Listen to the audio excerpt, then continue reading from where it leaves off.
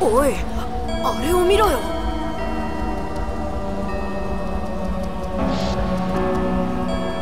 あれはオメガ。あのバカ親父あんなもんまで揃えて一体何をするつもりだ？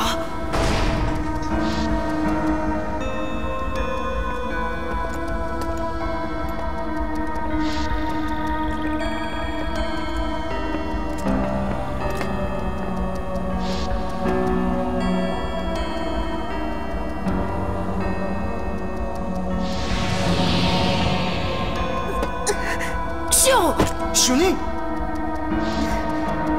大丈夫。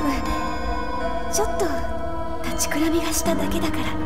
体の調子まだ悪いんじゃないですか？平気平気。何でもないわよ。主任。ちょっとね。貧血気味なのかも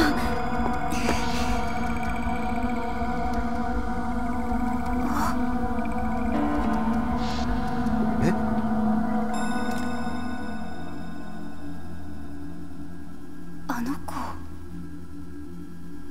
アベルク